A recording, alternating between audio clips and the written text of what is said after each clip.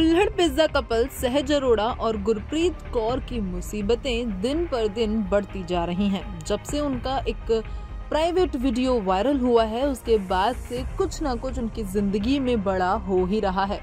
ऐसे में अब एक औरत ने उनकी शॉप के बाहर प्रोटेस्ट करना शुरू कर दिया है, बवाल मचा दिया है वीडियोस इंटरनेट पर वायरल हो गई हैं।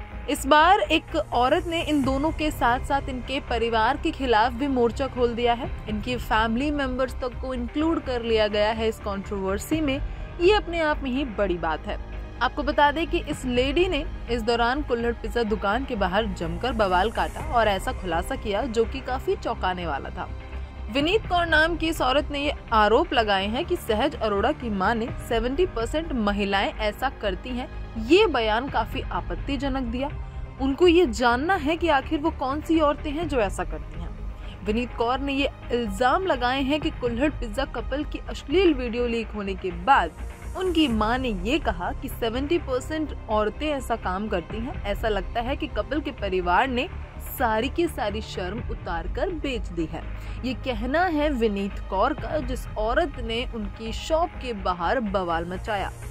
आपको बता दें, औरत यहाँ अकेली नहीं थी। उनके साथ, उनके हाथ में एक बोर्ड लगा हुआ था, जिस पर लिखा था, कुल्हड़ पिज्जा कपल शर्म करो। 70 परसेंट महिलाओं पर घात मत करो। आपको बता दें, इससे पहले बाबा अंकुर नरूला और एमी विर्क मुर्दाबाद के नारे भी ये महिला लगा चुकी है।